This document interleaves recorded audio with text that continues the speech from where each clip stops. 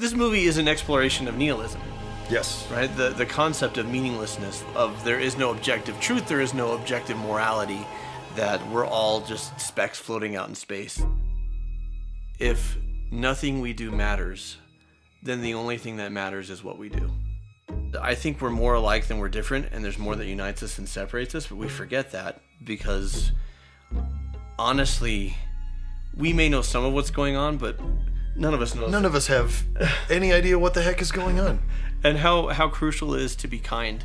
Kindness and optimism, they're not the tools of the ignorant or the naive or the stupid who don't know what's going on in the world.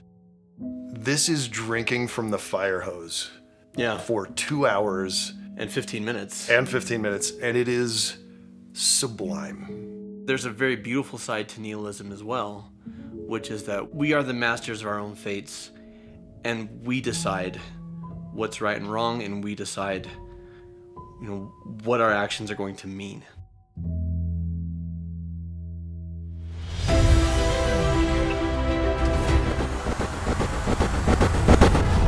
Welcome to Cinema Therapy. I'm Alan Seawright, professional filmmaker who needs therapy, and that is. Jonathan Decker, licensed therapist who loves movies.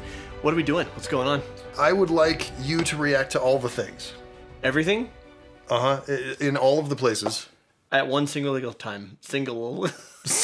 One single lingual time. Everything everywhere all at once. I take it because we have bagels as guests. Our guests are the everything bagel. I put everything on a bagel and I gave it to you. I love it. This is my new favorite movie. And I'm not saying that just This is not I- recency bias. No, this is I, I have a very thorough vetting process, and my last favorite, 310 to Yuma, was there for like 12 years. Oh, a long, long time. Yeah, so it's not faint praise. This has everything I could ever want in a movie. And it has, it has it everywhere. It has family reconciliation. It has couples working through their issues. It's got existential crises. It's got A multiverse? a multiverse. It's got martial arts. It's got laughs. It's got tears. It's got everything. Like it's fantastic. It is one of the best films ever made. Certainly the best film of this year. Yeah. Not even close. Michelle Yeoh is a she and her husband run a laundromat. She is an Asian immigrant. She's got a daughter that's not getting along so great. Her father's coming to town for his birthday. He's an old school traditionalist, and her daughter is more progressive. And there's just a lot of family drama and a lot of work stress and a lot of tax stress.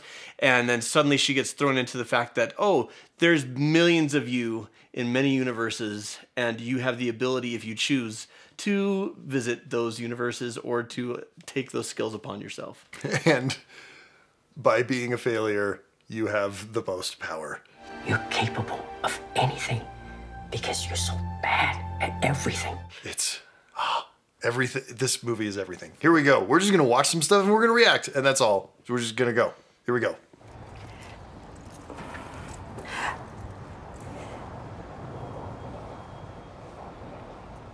you you have to try and eat healthier.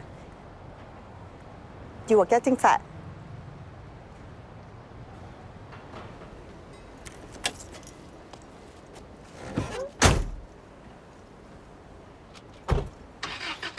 She had some more profound personal stuff to say, and then she backed off.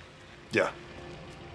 This is as a person who spent a good chunk of my time growing up in uh, China and other Asian countries. I have Asian aunties, and that's how they said they love me.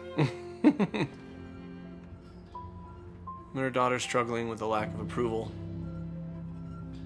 Or just the lack of unconditional love, really. I just this one little scene. It's like a minute and a half. Most of it doesn't even have dialogue, and it tells you everything you need to know about what this movie is. 你在干什么？Evelyn，你在想什么东西啊？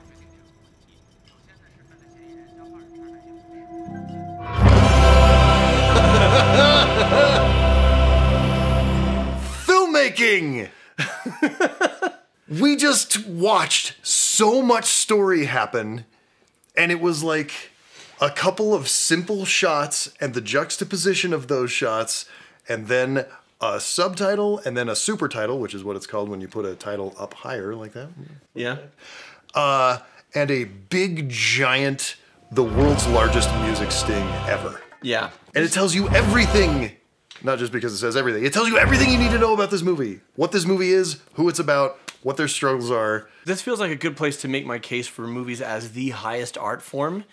And very often we don't see them as such because so few movies like fail to take advantage of the potential and they just kind of poop out content like here here's a thing for you to enjoy it's, Yeah. but film if you think about all the other art forms right if you think about okay stage acting and the and the power of the spoken word the power of the written word right? So you have screenwriting you have the acting you have the wardrobe you have the production design you have music. If you're a musical person or you're moved by music it's there right? You have dancing you have martial arts you have comedic timing and you have through editing something that you can't get anywhere else which is editing Yeah, Which- you, which is you the can't ju- you can't go from one thing to a completely other thing and juxtapose those two in any other form of media. Novels almost kind of sort of but not really. all the other art forms coalesce and come together in cinema Movies are everything.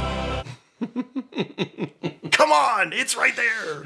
This is why it's cinema therapy because it's the best It's just it's so good. Also television and video games, but we're not talking about those right now. It's just cinema therapy. Here we go.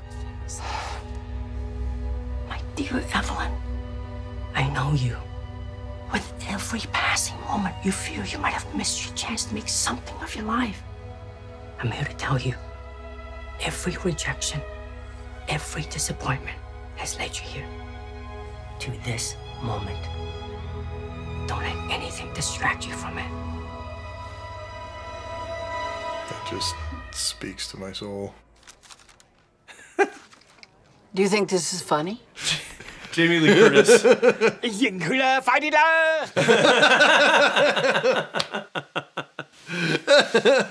So first of all, Ke Huy Quan, who we know growing up in the '80s from The Goonies and The Temple of Doom, and- yeah, short round.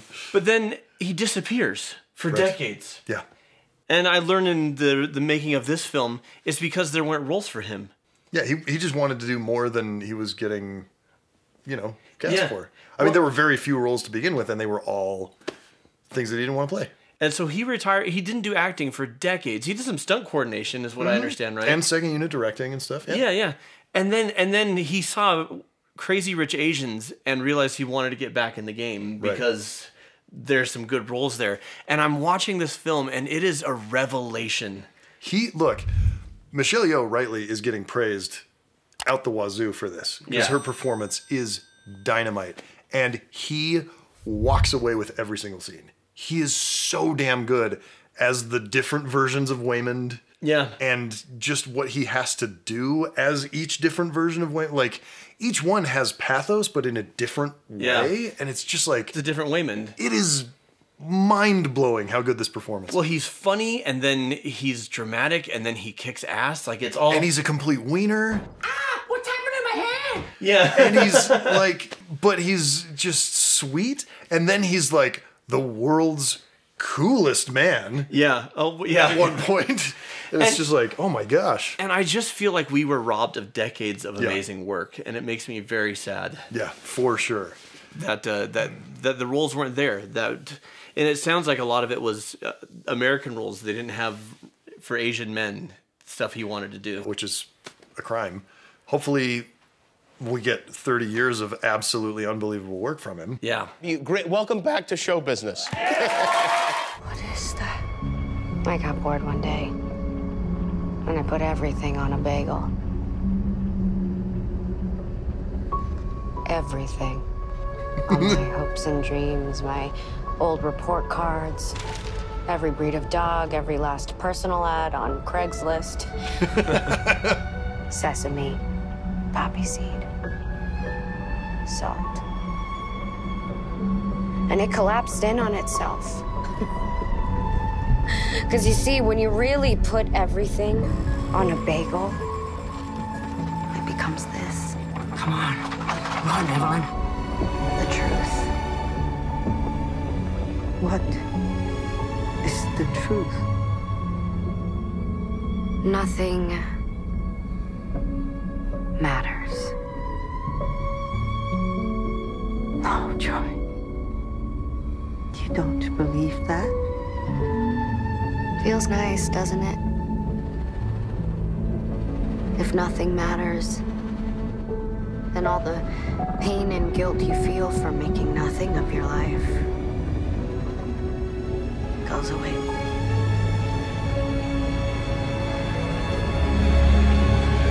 Sucked into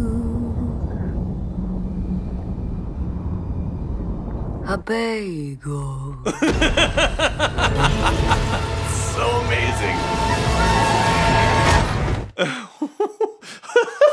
in cinema.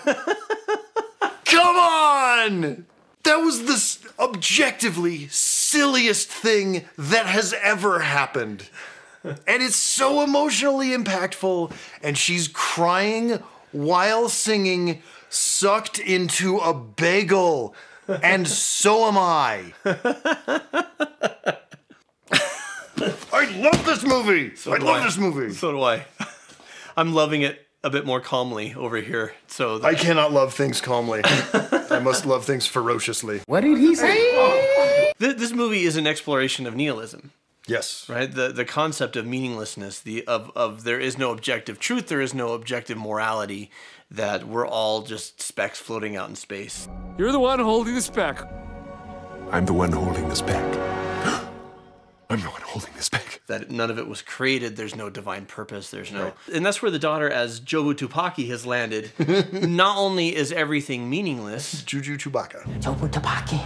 You're just making up sounds. but we don't have any sort of moral obligation to one another. Right. There's no impetus to do right because there's no divine reward. Like, so she's just gonna wreak havoc and She's destroy. going to put everything on the bagel. yeah, I mean, All universes, all of everything. she's a lot like Heath Ledger's Joker. She's an agent of chaos. Yeah. Except for she has far more power than Heath Ledger's Joker did. Much, much more frightening. So she wreaks much more chaos. Is the scene? Oh man, the scene is probably my favorite movie scene now. Of any film ever. Yeah, no, it speaks to me. Also, the answer to is it possible for any human to be cooler than Tony Leung? 你爸总是觉得我的心太软。也许当时他是对的。Please.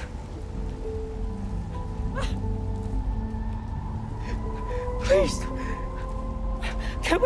Can we can we just stop And fighting? he also plays this. So much range. So much range. 世界，我们都在里面绕圈子，这我明白。你和我都在这个地球上活了这么久了。I know you're all fighting because you're scared and confused. I'm confused too. All day. I don't know what the heck is going on. I feel that sometimes. But somehow, it feels like it's all my fault. Definitely felt that. Definitely feel 好 that. 的一面，那不是因为我天真，而是必要，而需要。这也就是我的生存之道。I don't know. The only thing I do know is that we have to be kind.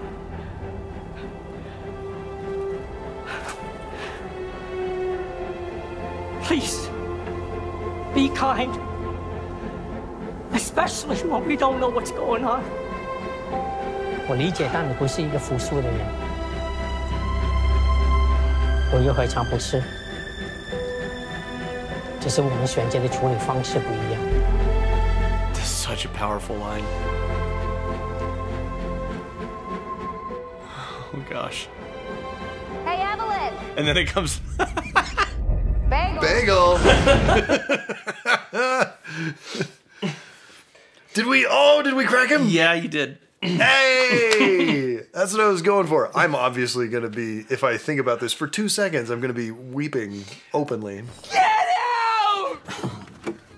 My life mission inherited from my mother writ large the idea of you know we need to be kind especially when we don't know what's going on and i you know i i believe that the principles of therapy will help on a societal level not just in our homes Yep.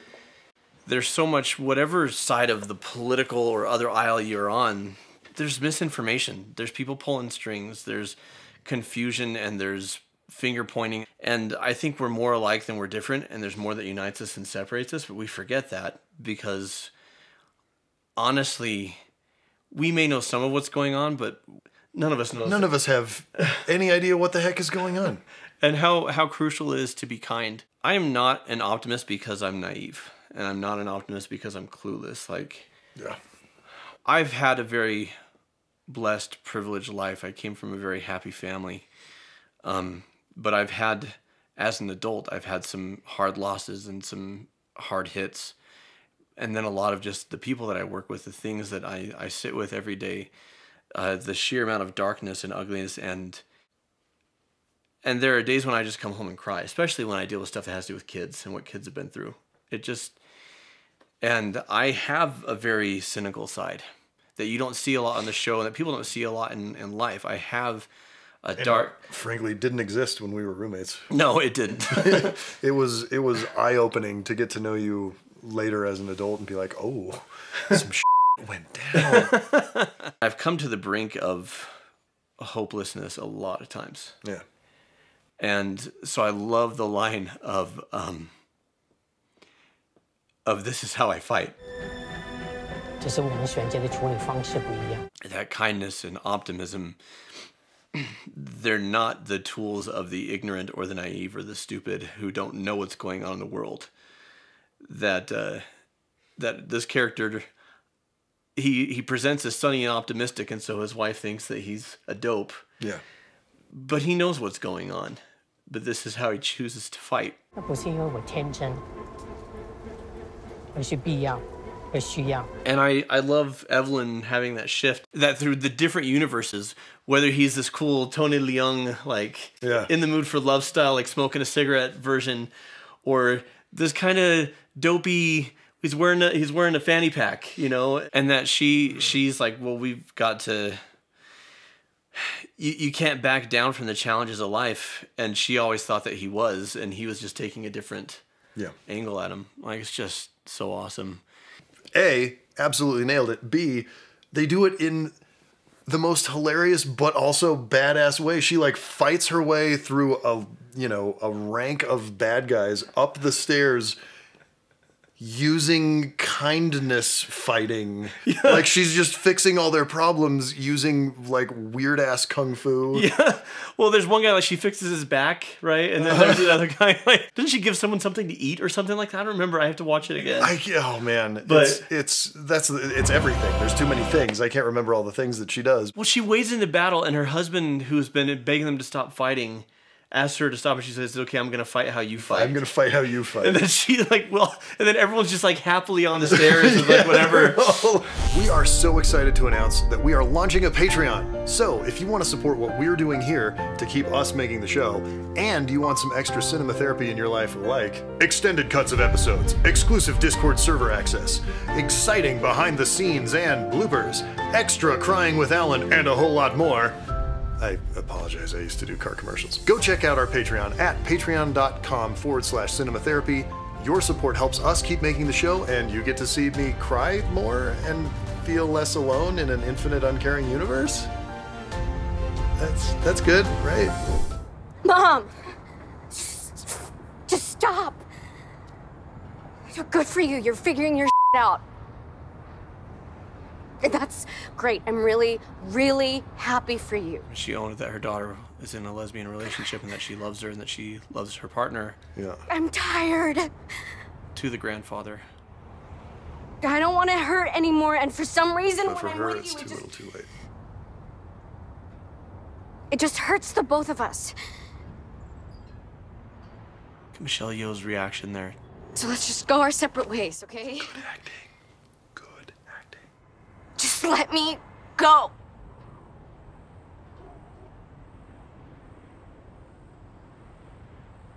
So this version of the daughter, obviously not a supervillain, but just wants to sink into the abyss. Yeah. And the supervillain version wants the same thing.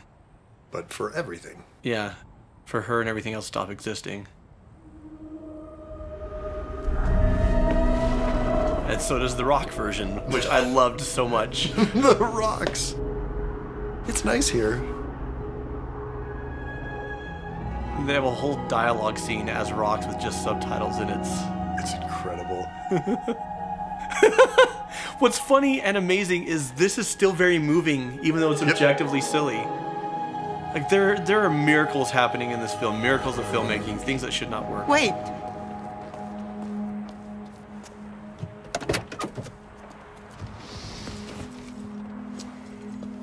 are getting fat. And you never call me, even though we have a family plan. And it's free. You only visit when you need something. You got a tattoo, and I don't care if it's supposed to represent our family. You know I hate tattoos. And of all the places I could be, why would I want to be here with you? Yes, you're right. It doesn't make sense. Evelyn，别说了，够了。 Let her finish. Maybe it's like you said. Maybe there is something out there, some new discovery that will make us feel like even small pieces of shit. The nihilism, you know, we Something that explains are why insignificant specks. you still went looking for me through all of this noise. And why? No matter what, I still want to be here with you. I will always, always want to be here with you. So what? You're just gonna ignore everything else. You could be anything, anywhere.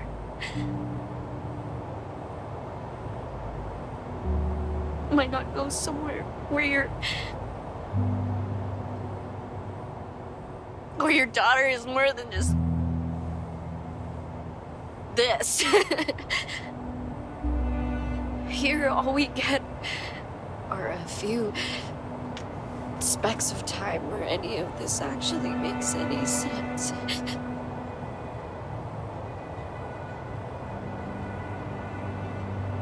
Then I will cherish these few specks of time. That's the secret. Yeah. If nothing matters, then everything matters. Push the button. There. There you go. You know, speaking of laughter through tears, I love the acting choice of the daughter to to laugh as she's crying to her mom, and it's not especially happy, but it, oh, the hot dog fingers, oh gosh. I'm sorry, Rick. And then Ratatouille! the, the, right- the like the whole Ratatouille like spoof like is so awesome.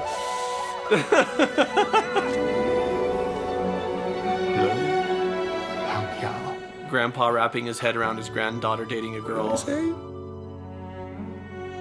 did he say?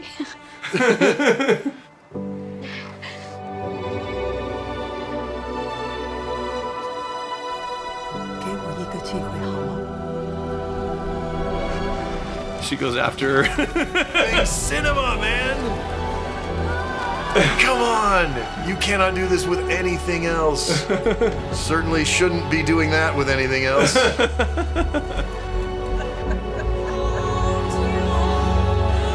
In one universe, her enemy is her lover. The Racacoonie, like it's all so. It's amazing to me the bonker stuff this movie gets away with. None of it should work, and all of it is perfect. Yeah.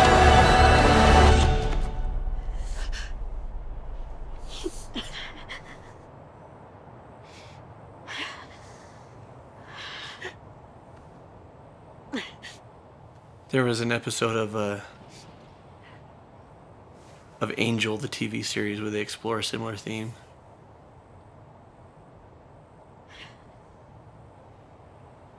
There it is. Most powerful effect in the world. Close ups. so awkward. That's Sophie right there. Yep. But we're feeling happiness. Ugh.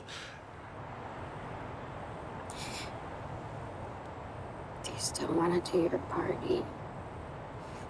We can do whatever we want.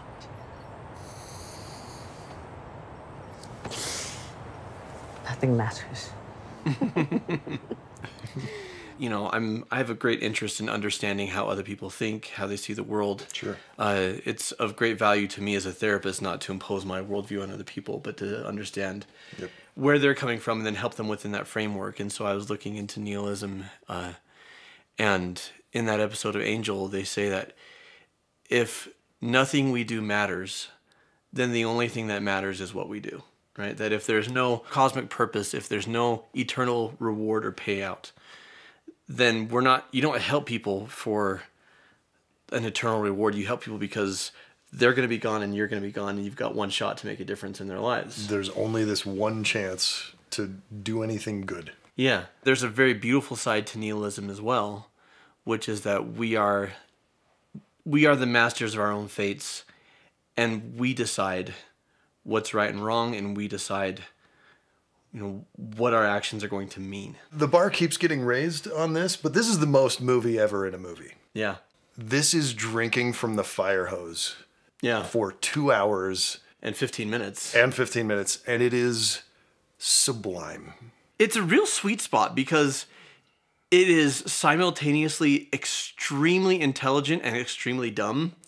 And absolutely beautiful and like full of pathos. Very moving, and then at the same time, it, it feeds your I just need- Unbelievably silly. And I just need to see some ass get kicked. You know, like it's all just in there. This is so much movie.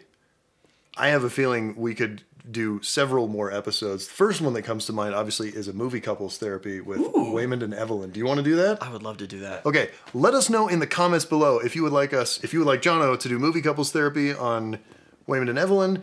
Do we want, you know, just like mother daughter therapy? Like that's a type of therapy you've done before, right? Mhm. Yeah, yeah, for sure.